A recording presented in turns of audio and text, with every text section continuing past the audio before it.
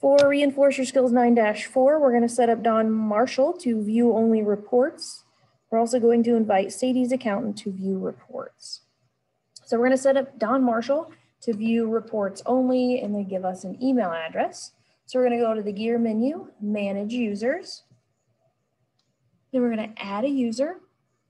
This user wants reports only. So we're going to reports only here. We're going to click next in the bottom right hand corner.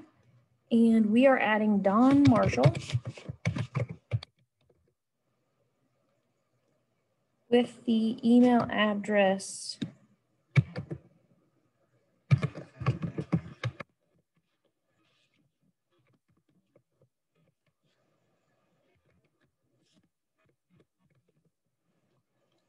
Then we're going to click save.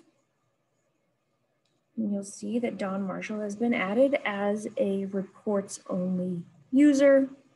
You'll see his status right now is invited because he's not accepted the invitation. Next thing we're gonna do is add an accountant. So we're gonna click over here on the accounting firms tab. We're going to invite. Don't know much about this person. I just know their first name is Sam. Tax at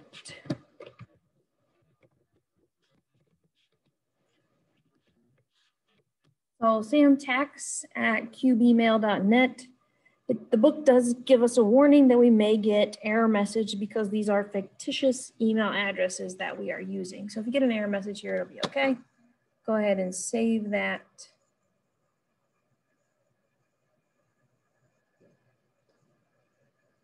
And apparently I've been in my account too long.